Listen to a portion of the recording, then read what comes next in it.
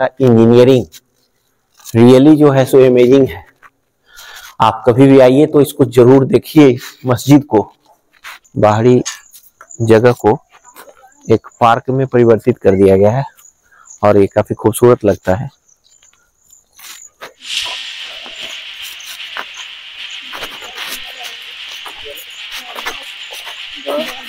Yeah.